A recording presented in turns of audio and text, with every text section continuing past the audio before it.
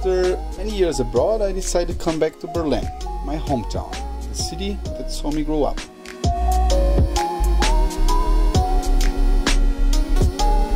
I still think it was a wise decision. I really like it for its imperfections and lifestyle.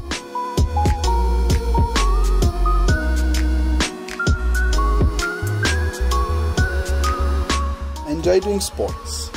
For me, it's a way to encounter happiness, uh, my physical barriers, and friends. It's a way to connect and disconnect. I'm a proud owner of a small garden where my friends and I disconnect from the hustle and bustle of work and routine. We spend time with nature.